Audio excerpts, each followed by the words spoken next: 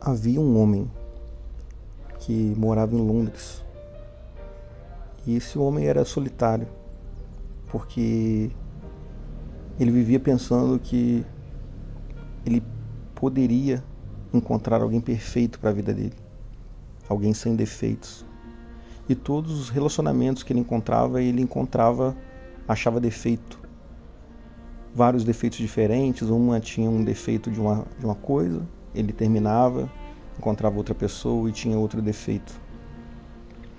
Então, em uma noite chuvosa em Londres, ele resolveu ir na ponte. E tão distante dali, ele viu uma estátua toda iluminada. E toda noite ele ia no mesmo lugar, chovendo ou não, ele ia naquele lugar e ficava olhando aquela estátua perfeita, iluminada. E ele então se apaixonou por ela. Se apaixonou pelaquela estátua sem defeito. A estátua, na verdade, não podia feri-lo, né? Mas estava distante dele. Então, um dia, ou melhor, uma noite, ele resolveu pegar um barco e ir até essa estátua perfeita. Então ele foi. Ele começou a velejar, a velejar.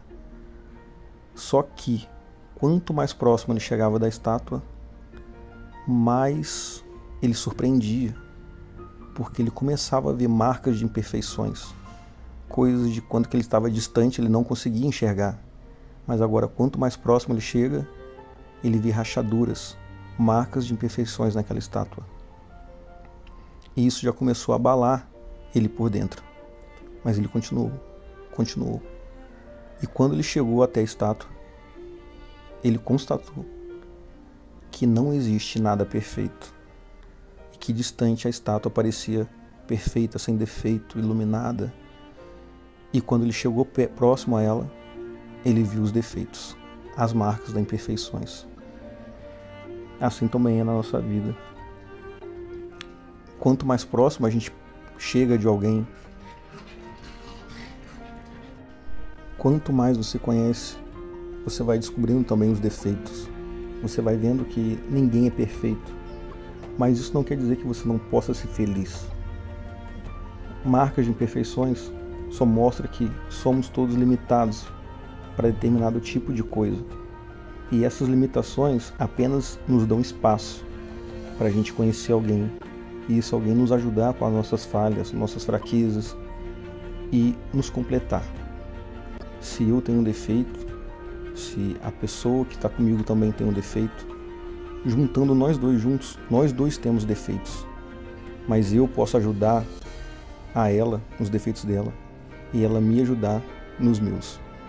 A questão toda não é se vamos encontrar alguém sem defeitos, alguém perfeito.